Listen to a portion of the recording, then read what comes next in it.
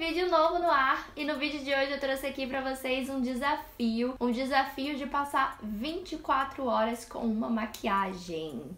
Não sei se conseguirei fazer isso, não sei se conseguirei chegar até o final desse vídeo com a maquiagem, porque eu tenho aflição de ficar com maquiagem dentro de casa quando eu chego. A primeira coisa que eu faço assim que eu chego em casa é tirar a maquiagem, então vai ser realmente um desafio. Mas a intenção foi pegar produtos que dizem na embalagem, que dizem pelo fabricante, pela marca, que são produtos de longa duração e testar eles realmente. Hoje eu vou gravar vídeo, eu vou pra academia, eu vou pra faculdade, assim, eu vou ficar muito tempo com todos esses produtos. Então eu espero muito que vocês gostem desse vídeo. Se vocês já gostaram da ideia, deixa o seu like pra mim, que é super, super, super importante. Também se inscreve aqui no canal, porque aí você não precisa ficar entrando aqui no canal sempre pra ver se tem vídeo novo, se não tem vídeo novo. E é isso, bora começar, bora fazer a maquiagem, porque eu tenho muita coisa hoje pra fazer, pra mostrar pra vocês, pra gente ver se essa maquiagem realmente vai durar. O primeiro produtinho que eu vou usar é um que está bombando no meu Instagram, no YouTube e tudo mais. É o Cerosink da La Roche-Posay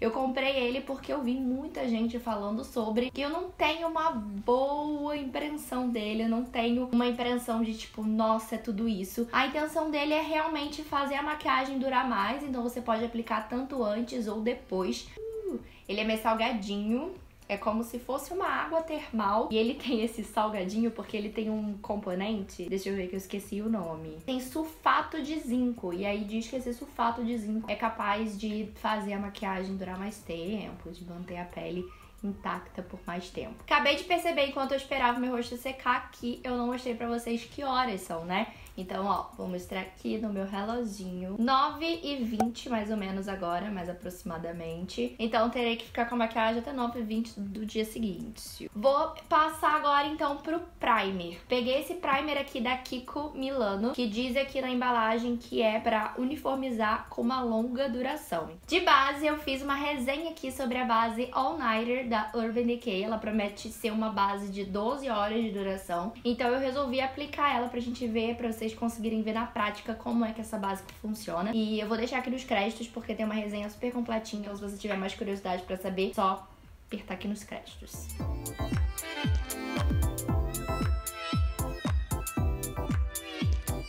Agora eu acho que eu vou pular a parte do corretivo, depois eu faço as coisas do corretivo. Tá cheio de formiga no meu quarto. Vou pegar esse primer de olhos aqui da The Balm, que é um primer que eu sempre uso. Eu gosto bastante, eu acho que a duração dele é realmente boa, mas vamos ver. Vou pegar aqui a paletinha da Huda Beauty. Tem resenha aqui no canal, tem vídeos falando melhor sobre ela. Também vou deixar tudo nos créditos. Vou pegar uma sombra neutrinha. Vou fazer uma maquiagem bem básica pra gente testar mesmo os produtos, nada tão exagerado. Vou fazer uma maquiagem que eu tenho gostado bastante de usar, que são com essas duas sombrinhas aqui, ó rosinhas e eu acho que ainda não mostrei ela aqui pra vocês. Eu pego as duas no mesmo pincel e venho aqui pra esfumar. E aí, ó, só com essa outra que eu também misturei, que é um pouquinho mais neutrinha, eu vou fazendo a diferença entre o côncavo e a pele, sabe? Pra não ficar tão marcadão, na verdade, pra não ficar nada marcadão.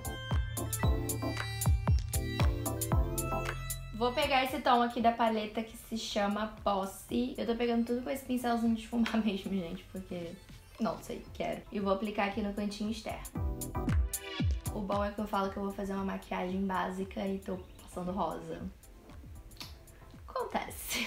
Vou pegar uma sombra iluminadora e vou aplicar aqui no cantinho. Trouxe aqui um pouquinho pro meio do olho, só pra dar um brilho, uma luz. Próximo passo, vamos para o delineador. Escolhi esse aqui da MAC, ele chama Penultimate Eyeliner e ele é na cor Happy Black. Vou passar agora máscaras de cílio. Peguei essa aqui da Clinique, tem um tempo que eu não uso ela. Diz que é uma máscara de extensão pra deixar os cílios lash power, então pra tipo... É alongar bastante os cílios e aqui vem dizendo que ela é uma fórmula, ela tem uma fórmula de longa duração. Essa máscara aqui, ela tem duas versões, mas essa aqui diz que só sai com água quente, então vamos testar. E uma das coisas pra gente avaliar na hora da máscara é pra ver se o cílio vai tombar, né? Não é uma questão tanto de durabilidade, é também porque tem algumas máscaras que escorrem ao longo do dia e aí você fica, sei lá, toda cagada, toda panda. E aí isso é super importante para quem tem já a tendência dessa região aqui mais oleoso, que perde muito fácil, mas também para ver se o cílio não tomba ao longo do dia, né? Ainda não acabei os olhos, tenho esse lápis aqui da Vult que diz que é longa duração, alta cobertura e a prova d'água. E aí aqui vem dizendo que são 4 horas na linha d'água e 8 horas na pele. Eu vou meio que passar na pele, porque eu vou passar aqui embaixo só. E aí não é tanto na linha d'água, né? Tá vendo? Passei só aqui rente aos cílios, é na pele mesmo, então vamos ver se vai durar as 8 horas que a Vult tá prometendo. Vamos voltar pra pele agora, vou fazer a parte do corretivo com esse corretivo aqui da MAC, que é o Prolong Wear, como o nome já diz, ele promete ser um corretivo de longo, longa duração na pele, longa usabilidade, existe essa palavra, usabilidade.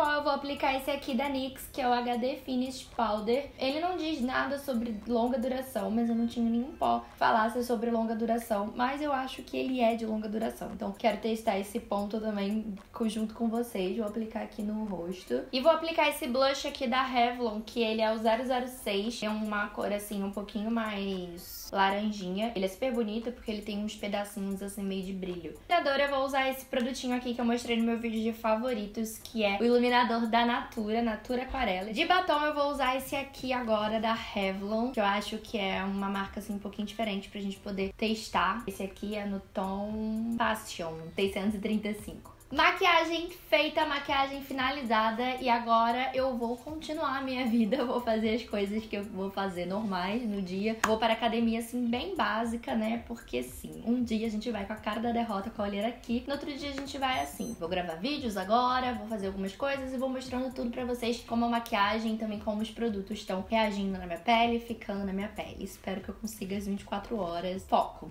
força, fé. Acabei de gravar cinco vídeos só agora, deixa eu ver. São três horas, quase que certinho. E, ó, batom já foi lá pra Beleléu. Já comi, já escovei o dente. O que eu percebi que saiu foi o lápis da Vult, então, tipo, não tem 8 horas de duração. Ele já tá super manchadinho, não sei se vocês vão conseguir ver. Ó, já tá em quase nada. Delineador tá bem direitinho, ó. Agora eu vou pra academia, vou trocar de roupa e estou indo para academia. Vou fazer esse papel aqui pelo esse canal. Então, compartilhe esse vídeo com as suas amigas. Vamos fazer esse canal crescer, porque eu estou indo pra academia nesse estado.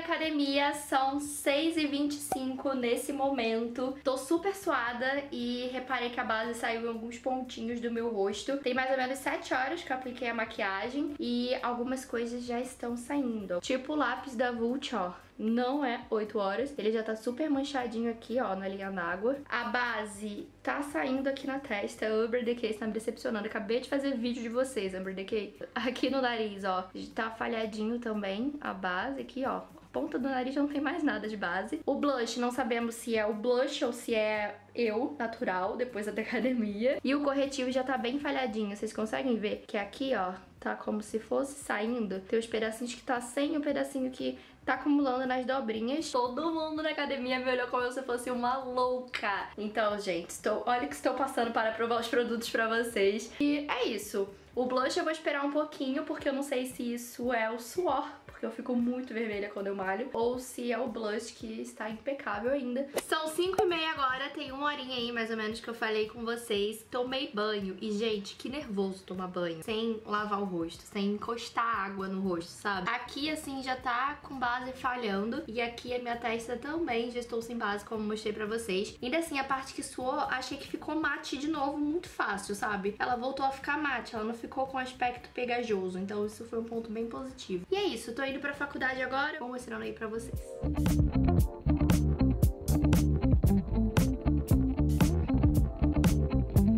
São 11 horas, acabei de chegar em casa agora e a chance de eu estar quase tirando essa maquiagem está muito grande, gente.